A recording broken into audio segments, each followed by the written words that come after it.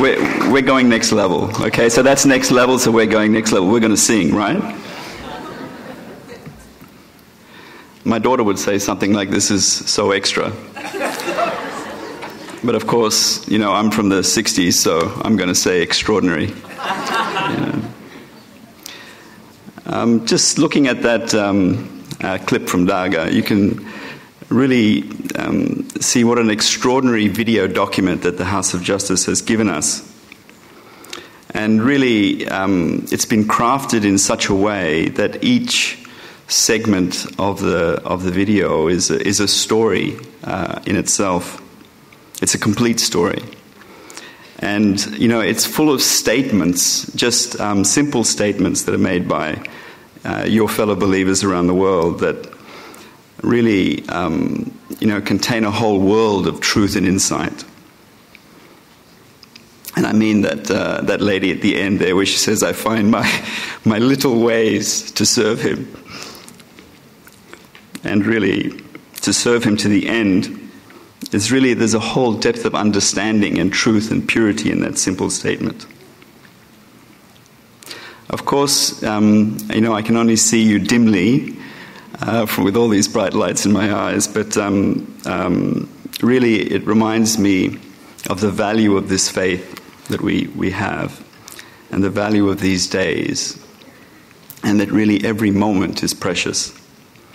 And of course, um, you know, you can also recall the words of Abdul Baha when he's, uh, you know, he'd been a prisoner for most of his life and uh, visited America and was sitting in a carriage and he was being feted by uh, religious leaders and uh, in the press. And he, he made the comment, Oh Baha'u'llah, what hast thou done? And I think it's very apt here as well. I think seeing all of you evokes um, really a wonder um, in the power of Baha'u'llah to summon humanity to his vision. I think we've heard a couple of times that uh, this conference is, is historic. Uh, historic in the, in the numbers of the friends that are assembled here. And in a way, we should not be surprised. This is a faith of firsts. You know, building a world civilization has never been done before. So every, every step that we make in the progress and the unfoldment of this faith is a first. In a sense, we are writing history. And every step every step we are writing history. And and you, know, like as we're in this process, every now and again it's good to take a pause, to take a break, and to think of ourselves and where we are and who we are. And then to draw strength from our history, our shared history. We've had these wonderful stories of Mother and Father Dunn. Draw strength from that history. And then think about where we are going and then just get on with it and write the next chapter in this history.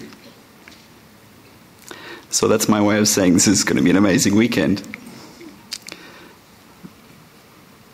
So maybe just in the next few minutes, we will um, hopefully uh, learn the lines of a very short song that the friends in Daga, uh, the children of Daga, sing. And then, if we have time, We'll just briefly explore three elements of the spiritual state that really are essential uh, to growth. So, just at the beginning of this year, I had a privilege, uh, only the second time I've attended a reflection meeting in Daga. The first one almost had as many people as this conference. That was back in 2003. There was a thousand people at that conference. But they've learned to that you know that these uh, reflection meetings are every cycle, so they have to make them sustainable. And at this uh, at this reflection meeting that I attended in a village called Guadede, um, uh, had about 150 people, and they were singing. Uh, the children were singing the song, and, and, and you've seen what the cluster looks like. So, as, as, as the gentleman was saying in the video, that there are no roads really and that everywhere we, they have to walk. And you saw them even, uh, there's no power, there's no running water, so you saw them carrying the generator uh, so that they could have light um, uh, in, in these gatherings that they have. And, and so we had a, a, a generator providing us with power at the reflection meeting. So the children were singing this song, and, and um, I'd heard that song many times before, but then just at that moment, it occurred to me that this is, in fact, um, uh, that this song was, in essence, uh, what all advanced clusters are, are doing. This is who they are becoming. And also, all clusters that are at earlier stages uh, of development are aspiring uh, to become. Okay, so let's give it a go. Let's uh, sing the first line. So I'll, I'll give it a go individual embarrassment, and then we'll have collective embarrassment.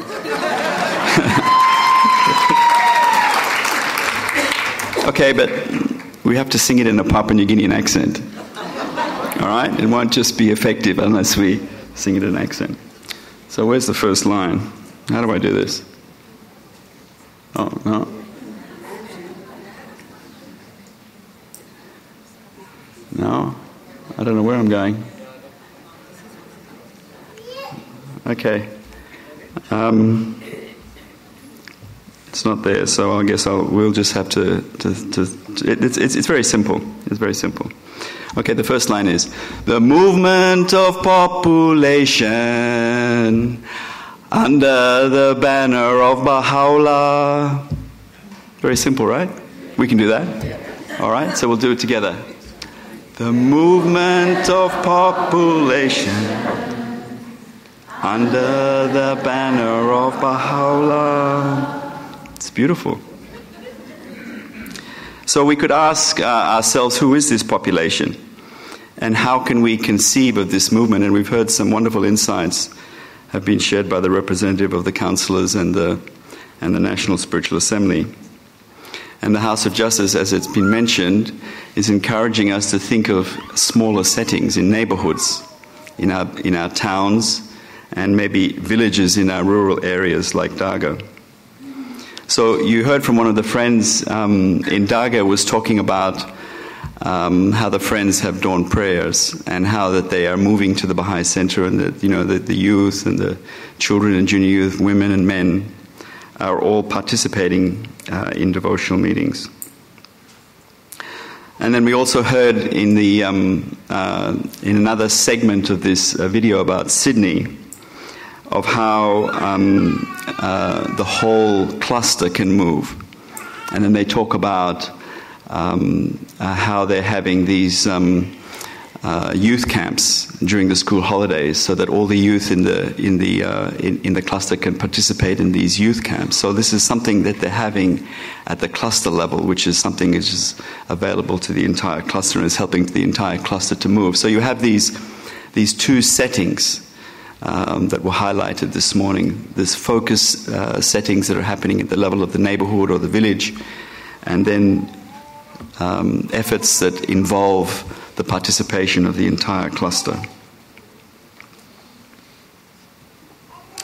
I think you know the the um, uh, book ten unit three also introduces us to this concept of concentric circles, right?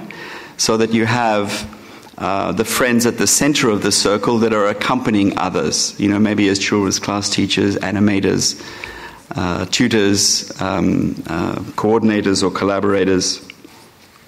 These are the friends um, that maybe are at the center of this uh, concentric circle. And then there's another circle around that, which are the circle of friends that are participants of these core activities, right? And then you have another uh, circle of, uh, of the population. So we're talking about the population now, right? That, um, that are aware of us and they know what we do, uh, but maybe not yet participating, right? And then you have maybe an outermost circle of friends that we haven't started talking to yet. So, you know, like there's this range or there's these concentric circles uh, within the population. So we're talking about the population now in smaller settings. So, with this concept, we can start to think about the movement of a population, right, in a smaller setting. And the House of Justice talks about a centripetal force, right? A centripetal force is the opposite of a centrifugal force, right? A centrifugal force is spinning us apart, um, but a centripetal force is bringing us closer to the center, closer and closer together. And, and the House of Justice talks about forces both within the Baha'i community and outside the Baha'i community that are contributing to this centripetal force. You know, we can't do much about the outside forces. I mean, we can respond to them well, and these forces are doing their work, and we respond to them with love and wisdom. I mean, we've just had a, a horrific example uh, of that uh, um, across the ditch, as you say, in New Zealand. Uh, an example of, of hate based violence. Uh, this is one of those ex- examples, but it gives an opportunity for the community to transcend uh, our differences. But the forces within the faith are within our hands, they're in our hands. And really, this is where we need to focus. You know, and I was uh, in India recently visiting uh, Delhi cluster, which is another very advanced cluster. It's an urban cluster, obviously, where there's almost as many people as in Australia in this one urban environment. And uh, I was able to go and visit um, um, the neighborhoods that are close to the house of worship. And, and you know, the friends live in, in very small homes, you know, tiny homes where the bed takes up most of the space. So, like when we go to visit, we just all just jump on the bed and um, then start having a conversation. And I was just um, impressed how these collaborators and coordinators of the program were conversing with the young people that were in that home. And it was this conversation that was part of this centripetal force, you know, bringing these friends closer and closer into the center. And you know, maybe the conversation went something like this.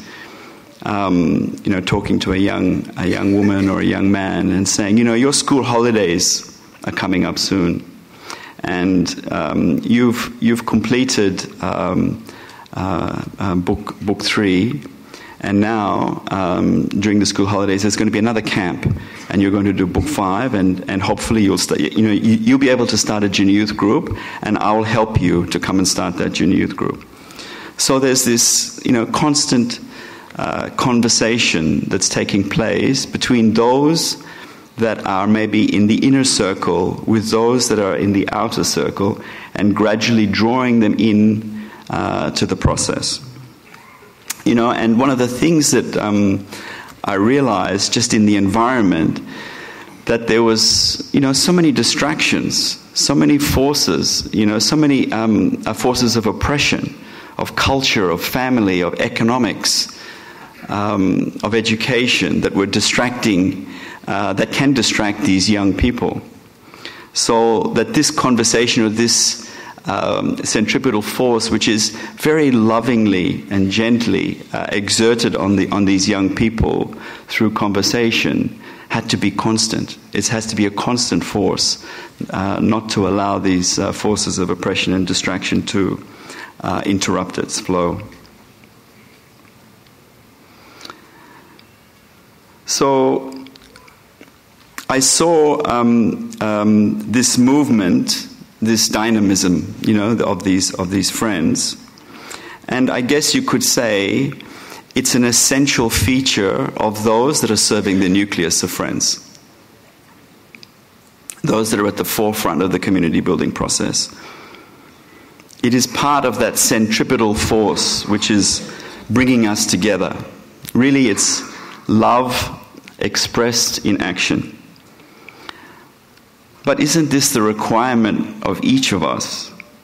You know, really to move, to speak, to have vision inspired by Baha'u'llah, to have a sense of mission and purpose, and ultimately to be a river of love and encouragement. This is not just for the, uh, those at the center of this process, but it's for all of us. Okay, so we'll go to the next, the next line of the song. And the next line really addresses why are we doing all of these things? You know, we've talked about the core activities, and there are so many things that, uh, that we do.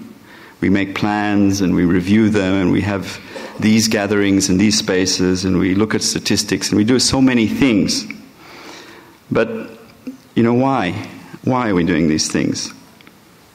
And of course, at some level, we know why. But, you know, the deeper our understanding, the deeper will be the roots of motivation. You know, book seven, we, we talk about this, the, you know, this link between understanding and motivation, sustaining motivation. And, you know, the deeper that understanding is, the deeper will be the roots of motivation, especially, and, and so we can withstand anything. You know, we can withstand tests and keep moving forward. You know, at, at, at the Baha'i World Center recently, there was a gathering uh, for friends that are serving in the most um, uh, advanced clusters in the world. So there were uh, three from Africa, no surprises there, and uh, three from uh, India, no surprises there, but there were two from Australasia. How good is that? So, so both Sydney and Daga were represented at this conference.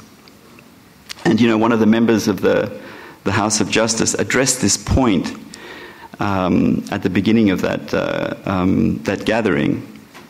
And um, you know, he said that, that we'll be talking about a lot of different things in the next coming days. And he said, but we must always uh, remember that in the final, final analysis, what we're undoing is the unfoldment of the covenant. So that was mentioned um, this morning. It was actually our very own uh, Mr. Stephen Hall that uh, was asked to um, to begin that uh, gathering, and he mentioned he mentioned this, and he quoted from Abdul Baha about the covenant. I just want to share that quotation. He said, "Today, the Lord of hosts is the defender of the covenant. The forces of the kingdom protect it. Heavenly souls tender their services." And heavenly angels promulgate and spread it broadcast. If it is considered with insight, it can be seen, it can be seen that all the forces of the universe, in the last analysis, serve the covenant. In the future, it shall be made evident and manifest. So, I don't think we can even begin to unravel the mysteries of that statement in this gathering. We can only really stand in awe of it. And you know, I, have been thinking um, uh, about the Institute process, and really, the first seven books of the, of the sequence of courses are really about the individual doing something and developing the capabilities that he needs to do it, and the spirit in which he does it, and so on. But in Book 8, it explains really the bigger picture and the context of all this individual and collective um, activity, the unfoldment of the covenant. So, okay, let's do the second line. The pivot of the oneness of mankind is nothing but the power of the covenant. The pivot of the oneness of mankind is nothing but the power of the covenant. So, the third line of the song refers to the community building activities in which we are engaged. And as we get drawn further into the life of society, social action influences this whole process. So, this third line is a little bit more there's a bit more packed into it. Study circles, junior youth, children's class, devotional meeting, social action reflecting all. There's a lot in there, right? maybe, maybe you know, we, we can say, well, what happened to ISGP and home visits? And but I mean, you can only put so much into one line. So let's try it. One, two, three. Study circles, junior youth, children's class, devotional meeting, social action reflecting all. My God, you guys are great. You know, just that line, the fact that study circles is first, right? Really implies the centrality of the Institute and that it really is at the heart of the community building process. And really, we can never take our eyes off the ball on this, you know, the Institute itself. And you know, when I was in, at this reflection meeting in, in Daga and I was looking uh, across the sea of friends, of course, there was no light shining in my face. I could actually see their faces. And um, I could see that really there was generations of tutors amongst them that had been raised up over the last 20 years.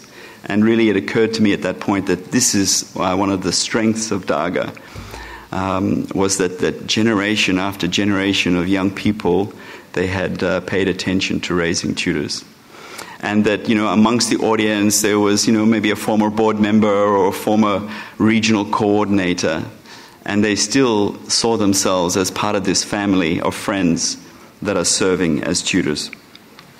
And I thought to myself, this is really one of the great strengths uh, of the Daga cluster. And it recalls to me a story that was told by, uh, by a member of the teaching center. And he said that he went to a community and someone asked him a question about um, having too many caps or too many roles. You know, I'm an assistant, I'm, I'm serving on the uh, local spiritual assembly. I'm a member of the ATC. You know, and sometimes uh, when resources are limited, we wear many different caps or hats. And um, uh, he responded and said, you know, he said most of these caps. Uh, we don't choose to put them on ourselves. They're chosen for us. You know, we're elected onto the local assembly, and that's that's your cap for one year or you're uh, appointed to serve as a coordinator, and that's your role for that uh, for a period of time. Those things um, uh, are not uh, part of a, a choice, but we can choose to become a tutor. We can choose to put that cap on our head, and that cap should never be taken off. Those others will be taken off, but the cap of the tutor will always be there. So uh, I think this is a, a vision, uh, you know, a vision or an aspiration or a goal that we can have for ourselves and even our children to serve as a tutor, you know. And um, so, you know, like what, you know, we can even go so far as to say, what do you want to be when you grow up, you know? I want to be a carpenter or a social worker or a nurse or a doctor and a tutor. Of course, um, uh, in Daga, the education of children and junior youth and youth is always on the agenda of the 31 local spiritual assemblies and the cluster institutions. And systematic efforts are being made to formalize this process from grade to grade and um, year to year. And you know, especially at transition points um, in this educational process, you know, like when a child um, finishes uh, children's classes and is transitioning to the junior youth program, or when the junior youth are transitioning uh, to uh, becoming youth and being able to uh, enter the institute process, these points of transition, everyone gets involved in, in, in this process. And, and just before the reflection meeting, there was a um, a gathering that was hosted by the local spiritual assembly of Guedere for the six youth, I think it was, uh, junior youth that were transitioning to becoming 15 years old. And the whole community uh, was involved in this uh, celebration. And so, um, um, you know, they were given a prayer book, they, they were spoken to about obligatory prayer, uh, they were given book one, they were given a declaration card, and um, uh, they were talked about, uh, you know, giving to the fund and being eligible to uh, pay Huququ'llah. All of these, you know, elements that we, uh, you know, consider about when um, a junior youth transitions to become uh, a youth and really uh, a member of the community in all these respects. So I talked about fasting and obligatory prayer and so on. And then right after that gathering, they attended the um, um, uh, you know in- intensive campaign that was held for youth in the whole cluster. So there's you know there's a it, everyone is involved in this in, in this process you know, just reflecting back to the consultations, talking about devotional meetings now, just reflecting back to the consultations in Haifa, you know, we had two uh, friends from Daga there, the, the two auxiliary board members. One is um, Berin and one is Jean. And, and I don't know whether you've seen it. I think, I think Berin was in the, in the video. He's, they're, they're very, you know, their stature is, is like up to my shoulder, and I'm not a big guy. Um, but their stature in terms of their um, uh, spiritual stature is, is, something to behold, you know. And so, you know, we're, we're in Haifa and we're in this um, in this room in the in the teaching center building, and you know they've put the, the tables and chairs in a in a big square, and maybe there's around about thirty to forty of us there, and you know um, uh, the friends from Sydney were sitting next to us, and then the friends from Papua New Guinea Daga and myself and Councillor Rue were uh, so we're sort of like on one side and. Um, uh, the members of the House of Justice would join us, you know, maybe three or four or five members, and they were sitting uh, closer to the door so they could come and go as their work demanded. But in this particular occasion, I think there was three or four members, and Berin was sharing about um, the um, devotional meetings in, in, in Daga. And, um, you know, he talked about the, the spiritual atmosphere of the devotional meetings and the songs, and, and we felt that this morning as well. And, you know, he, he spoke with just great conviction, you know, and there was a five minute rule in, in, in, in Haifa, and he thought it applied to everyone else except him, you know, you know, because like when he was done, he, you know, he wouldn't finish until he was done. And, you know, so the members of the House of Justice are right there, and he's looking directly at them. And he says, you know, entering the devotional meeting in, in Daga uh, is like entering the house of worship. And then he paused. He says, But we do not have a house of worship yet. And then he paused. And then he looked straight at them and said, But God willing. you know, the whole room just erupted. And the members of the House of Justice were laughing as well. But, you know, Berin just um, waited a few seconds and then just continued talking as if he had just spoken some facts and just moved on. So, this conception of the house of worship in Daga is, is not a theoretical concept, but it's an emerging reality. It's really only a question of when. And of course, in all advanced clusters, we, we can begin to think like that. All right, so let's go to the last line. And it really, um, the last line speaks to this precious creation of Baha'u'llah that has been given to us, and it is unerringly guiding this process. So the last line goes Under the guidance of the universal house of justice. Under the guidance of the universal house of justice. So, for the friends in Daga, this is a central concept.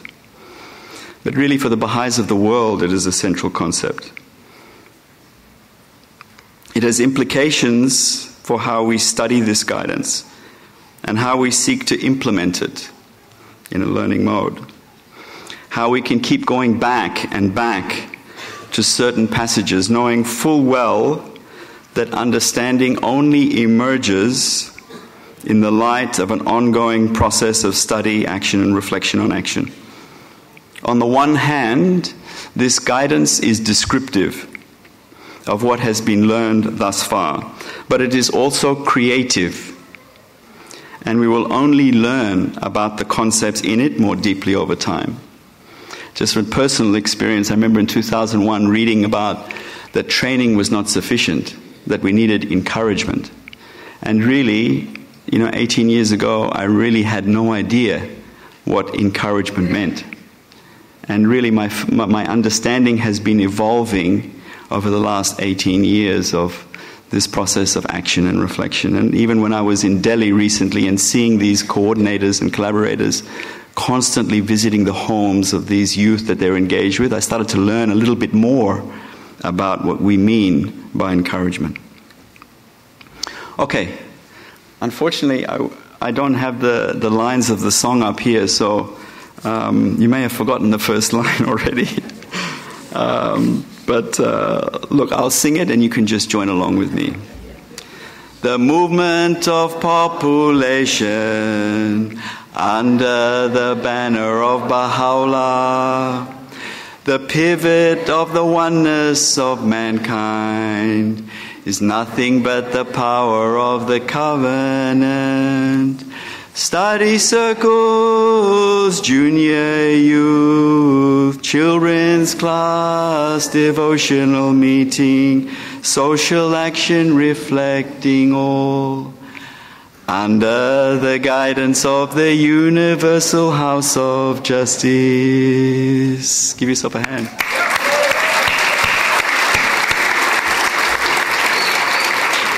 So, this song really describes the, the culture of the friends in Daga.